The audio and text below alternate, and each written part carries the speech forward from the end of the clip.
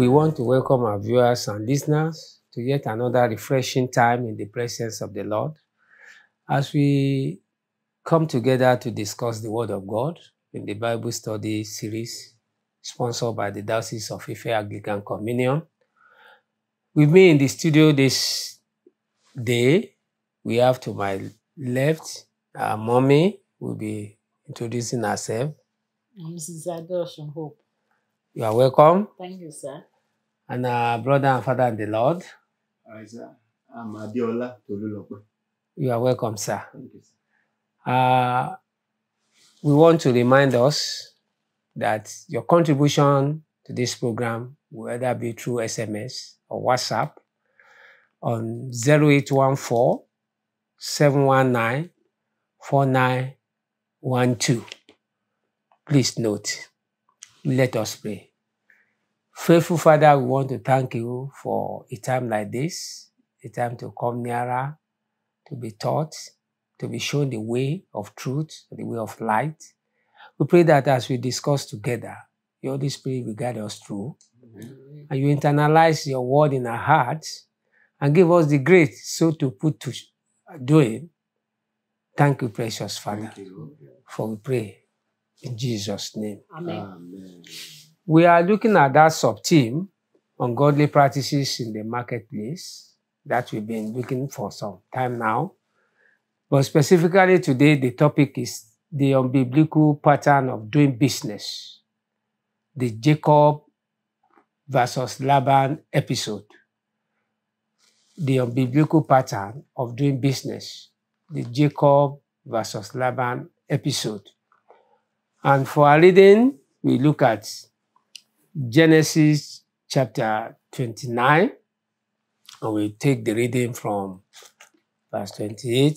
Mommy, you read for us from verse 15, Genesis 29, from verse 15 through 28.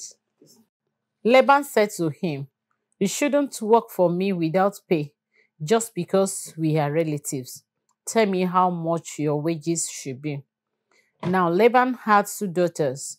The older daughter was named Leah, and the younger one was Rachel. There was no sparkle in Leah's eyes, but Rachel had a beautiful fi- figure and a lovely face. Since Jacob was in love with Rachel, he told the father, I'll work for you for seven years if you will give me Rachel, your younger daughter, as my wife. Agreed, Laban replied. I'd rather give her to you than to anyone else. Stay and work with me. So Jacob worked seven years to pay for Rachel, but his love for her was so strong that it seems to him but a few days. Finally, the time came for him to marry her. Have fulfilled my agreement. Jacob said to Laban, Now give me my wife so I can marry her. So Laban invited everyone in the neighborhood and prepared a wedding feast. But that night, when it was dark, Laban took Leah to Jacob and he slept with her. Laban had given Leah a servant, Zilpah, to be a maid. But when Jacob woke up in the morning, it was Leah. What have you done to me?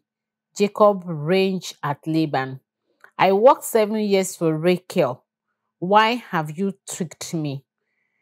It's not our custom here to marry of a younger daughter of a younger daughter ahead of the first son, firstborn.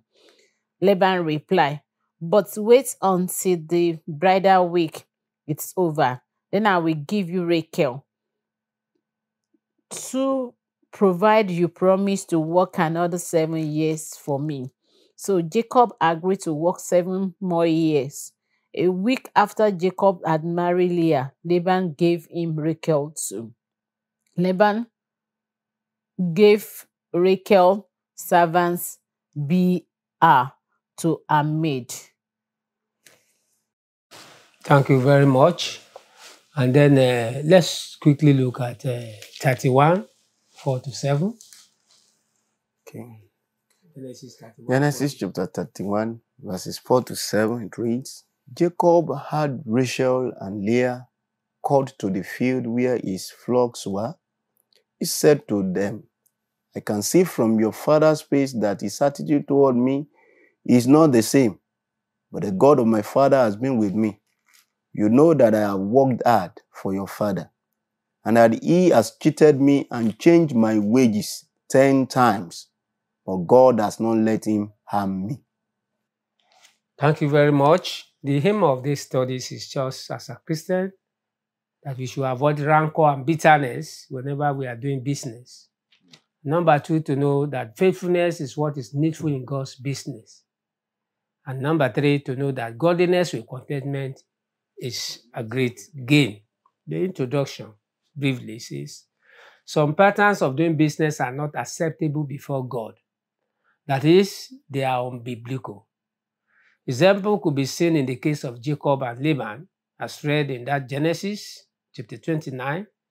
Any relationship that begins with deceit always ends up with lack of trust and bitterness, most especially in a business relationship.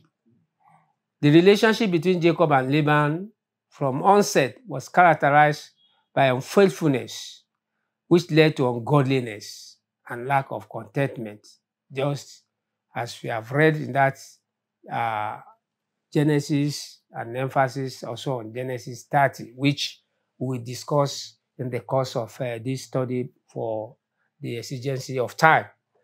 This study serves as a clarion call to all Christians to do their business right and make eternity focus. Because the Bible says we will all stand before the judgment seat of God so that we will take the reward for that which you have done, whether it's good or bad. We pray that uh, we will reflect more on this, but we are taking this case study. We believe that God put this story in the scripture not because we want to pass blame on, but that we learn and we'll be able to get things right as we relate to others, irrespective of the relationship that we may be with that person. And I pray that the Lord will open the eyes of our understanding and make right what might have been wrong before in Jesus' name. Now let's go quickly to our discussion because of time. What is your own view on the relationship between Jacob and Laban? Does it stand on truthfulness? My brother. Well, uh, thank you very much, sir. Let me start by saying no. Uh, if we look at it from the two passages that we have read, we could see that the relationship, you know, actually uh, was built with deceit and unfaithfulness. Even though they started, uh, you know, as a family, you know, uh, Laban was the uncle of uh, of uh, Jacob. He was accommodative, accommodating to Jacob. But along the line, you know, as business transactions set in, we saw from that or the two passages that they built the relationship in their business on deceit and on faithfulness. That's what I can say about it. Sir. Uh, sister, do you, do you subscribe to that uh, notion? perfectly well. Because when we are talking about the view on the relationship, the relationship initially, like my brother said, might, from the look of things, be of positive in uh, from the inception. But as times goes on, when the business, There was, there yeah, was, there was open hand of uh, yes deception. reception so but when the business comes in now i want to believe that the uncle who happened to be laban was so much focused on the business and what he wants to get from the business. So not minding the relationship any longer. Mm. So from that end he, he began to, to take advantage of the man jacob. So serve me for this year serve me for another year not minding that serve me for this, I Ye- give you this. Yes Okay. so serve me so if you, if i give you this if you want anything again you still need to serve me I should be gave something now. yes he gave something but at the expense of that man's life so the relationship to me is on deception So there is uh, untruthfulness and Yes. unfaithfulness. from the from the beginning, from the onset, Onset, yes. in the bargaining Uh, uh, process. process Yes.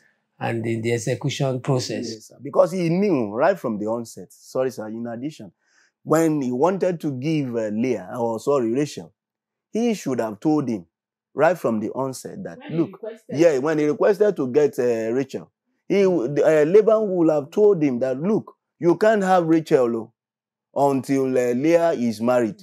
So pray that you will find another man to marry Leah first before you your seven years elapse. Otherwise, you will have to first marry Leah, and then you work for another seven years to get Rachel. He should have told So him all if this. he so pleased, he Uh, would have done he will have if he's inter- he was interested. He, I, wouldn't have been he- anything. there wouldn't have been any problem. But he brought. He brought, you know, he Cover covered her up. Make Uh, her in fact, he called family, in fact, for the celebration Oh, that was that okay that there will be a reception i want So- to give so- present so rachel and Jacob jacob was- was happy Was happy that yes, only to find out that uh, the man the woman that they gave to him was leah that was a deceit So we can say that on the premise that he didn't want to lose the service. yes he was interested so Of- much of- just like of- mommy said he was so much interested in that service let, let him continue to work for me knowing fully full well that even for the next seven years he's still going to work again so he was so much you know engrossed with what he wanted to gain from living. Jacob. That make it very unbiblical Mm. and uh, make it uh,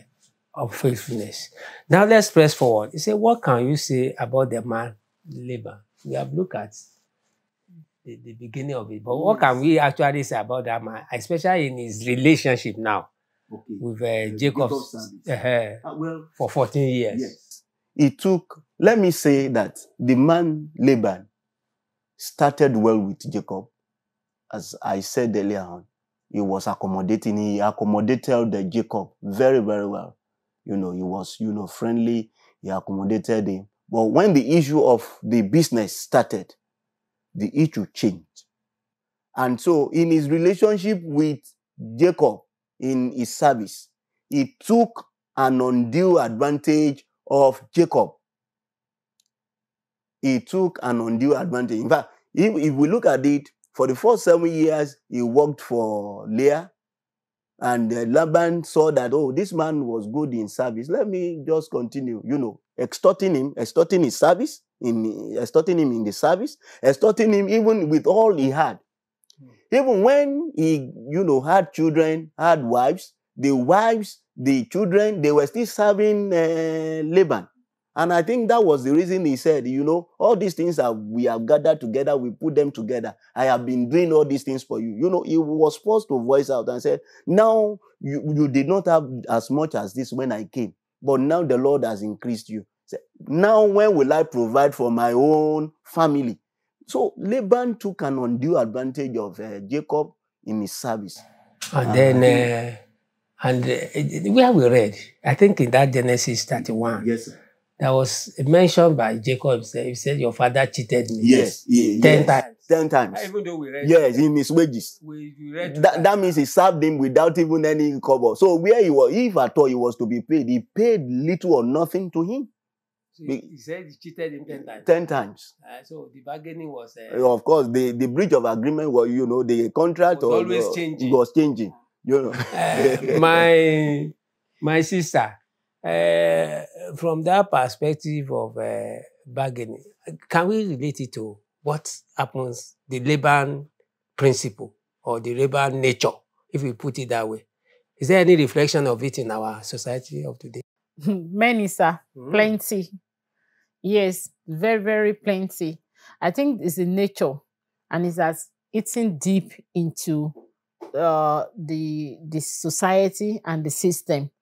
So today, uh, in the feed of, let's say, for instance, those who have complained today, I would like to speak on those uh, that have their own skills. You see that they get people to work for them. They use them to accumulate their wealth, and they find it hard allowing those people to access the wealth. Mm. That's what happened. Ah, but they are the one. Yes, they, they, they, were, they were the one, they used them so that's to, the spirit of Laban. yes, Mm. they used them to get the wealth. Not ready But to pay. pay. they will, yeah, they will not, they will pay little or nothing. In fact, they will even pay a stipend that they know that as a family man cannot cater for a family man. And then they That can- even their children at home. and they can put all the structures Yes. and build the empire for themselves. Yeah. So they that spirit is in the system. It's the same thing. The- in government circle, can we see the labor? Actually, is is uh, there in the government cycle too. For instance, at the current situation of the country, I see I can see that there's com- uh, government uh, own uh, institution or something like that that they are just paying like thirty thousand naira.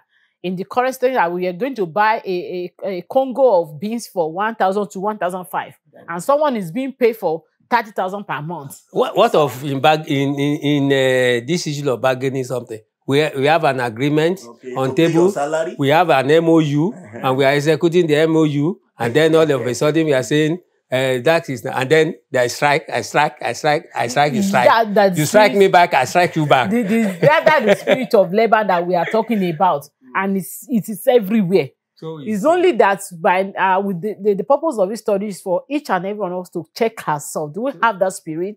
Do we have that habit in us? And if we do, we need to check ourselves and repent of it because it will worsen. It will keep on worsening the situation. the situation, just like uh, we see, you see. So uh, we God help us. Time is fast spent. Uh, then let's press forward. Say, then we have looked at Laban, but do we also have people like Jacob in our business relationship? we do have them. You see, Jacob wanted to play innocence, but he was not innocent. Hmm. He too has, you know, actually before he got to Laban's place, he cheated his brother. Okay. You know, that one from the background. You know, his origin, you know, that thing is in his blood. You know, he cheated his brother. And, you know, in the process, twice. not even one. Not even once, sir. So that thing developed in him when he got to Laban's place. Mm. So he was actually keeping that, you know. Okay, let me see this man. Let me see his reaction. If he does otherwise, I'm going to show my color. Which he did. He actually did. And if you look at the passages that were read, you know, as Laban played him, he also played, Laban. he played back. Hmm. You know, he played the trick. Both of them played it on them, uh, each other. So we have people like Jacob around us, you know, people that are serving too. Yes, yes. We have as the boss is trying to cheat on, you know, the boy that is in, you know, that is his uh, uh what that is serving him. You see, the the servant or the person that is under the person It's is also- looking for a way to, you know, dupe his uh, orga to strike back. All this kind of stuff we have in our society, even in the business place. Nobody can actually, you know, this is just also, I'm putting a boy in a play in a shop and he said, okay, I'm sure that 100% nothing will be missing. He has his own way of actually duping his orga, and his orga will think that he's also, he will be playing smartness. Hmm. So we have that So the, in the spirit of society. Is The- also, It's also there, as we have the spirit of Laban from orga, or so to we have the spirit of Jacob You cheat from me, those I I cheat you cheat back. you. God know the best. That's what we have there. Hmm. Uh, but as Christian, must that be, No, my sir. sister? No, sir. Like uh, there is this saying that Christianity is a way of life, Mm. and not until we get to that point and see it as indeed the way of life, we keep on missing the road. Mm. As a Christian, we shouldn't have the mind that if anyone wrong us, we need to wrong back. Mm. There is this popular saying that two wrong can never make a right. Right. Is a principle that once you have it, you know that you have your peace, as in inner peace will be there. The fact that somebody cheated you doesn't mean you need to cheat the person back. If you cheat the person, the person definitely, according to where we read, we are going, going to stand before God, give accounts of whatsoever we do. So the individual that cheated you will give account. So we cannot if- exonerate ourselves. yeah. So if you now cheat the person back, you too, you're going to give account. So you are you are trying to sow evil in a particular way. And so as the person that cheated you in the previous uh I mean uh initially is reaping his uh, own uh reward. Yeah, so You, yeah, you are you, you're going to reap Because you are partaker of, uh, evil. You are partaker of evil. So as Christian, we should not have the mind that Pay evil for evil. yes, pay evil for evil. We are not even encouraged. Roman tells us that we should uh, we should do good and make sure that whatever good we are doing, we are doing it to the extent that we don't allow evil to prevail in any way. So Christians should not have that spirit of Jacob, neither pick up the spirit of Laban. uh, there is tendency in each and every one of us. It only take the mind and the spirit of God in us to purge us of that spirit. Yeah. That is latent. Yes, it's latent in us. But we need the spirit of God to really purge us. There was a time I had a uh, someone that would normally come to my house to do the cleaning. So we had, you know, we bargain, I'm paying you this. She agreed. So she used to come and when she finished, I'll give her the money. But my husband was around one day and I gave the money. My mother was like, ah, ah, this money is too much. Once you know you can give more than this. And I, I reminded him that we bargain, no, there is a bargaining, there is an agreement, and I, I'm not breaching any agreement. But he told me that the way you you did, that he wasn't comfortable with it, that I have the tendencies to cheat on her. That to him, um, I was cheating on her. So I had to look into yes, because I can do better. They can do more than what I did. So he, he felt that you are Yes, You I was yeah, I I was underpaying. though it's yes. Yeah, So we, we as as Christians, we need to look into ourselves and allow the Spirit of God to help us. even when we do, we think we do Yeah, the right yes. bargaining, and we know within the Within us, say, you have you are not- that yeah, you are not doing Yes. this I right. think that's the very Thank point you. for everyone to note. We may have a right bargaining right here. We may be standing right, but the mm. conscience, the mm. spirit of God in us may actually be telling us that no, you you have cheated. And when that comes, or when we are corrected by another man of God or by another person carrying the spirit of God, I think like it's agreed here that we do a self-examination. And finally, let's quickly look at the last one. We say, if God had not intervened, what do you think would have been the consequences of unfaithfulness, business relationship between Jacob and Laban? Ah, well, uh, it will have le- actually it it will it will have led to destruction because Laban was ready to kill. He was ready because he he was after Jacob and he wanted to harm him, whatever. And, and as a matter of fact, he has forgotten that number one that he, he was his yes he was his uncle uh, his nephew and that his nephew is ma- is now married to his two daughters. And his own grandchildren are part of those people that he was raging against. So if hadn't been god did not intervene he will have destroyed so many things laban will have killed some people. He will have even killed his own blood.